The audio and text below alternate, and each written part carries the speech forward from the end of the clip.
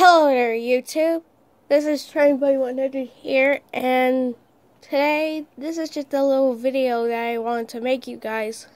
Um, there's not much to say here. Um, anyways, as you can see, here's my one of my fan-made characters called Joey.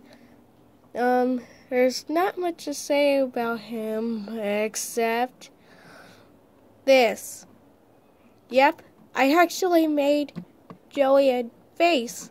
Now he's new and improved. I can now um have make some faces for other fan made characters. Well, the first one here is Joey, which uh, I'm planning on making uh, other faces for um, other fan made characters. Like, hold on. Okay, I'm back, and here's some characters of engines that I, for my series.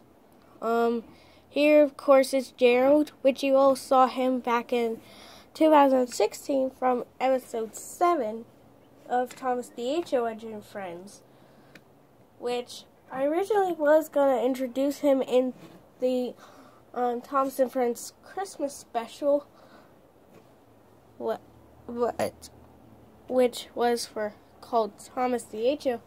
for Thomas the H.O. Engine Friends, my series, but I decided to cancel it because it was too hard and yeah yeah I make a lot of parts for it um and uh planning on making a face for him as well so yeah Gerald the Diesel will surely have a face soon um here's a character I'm planning on introducing into my series as well called um, this one here is Darwin, which he doesn't have a smoke box door. He's actually broken. Yeah, he's really in bad shape, right now.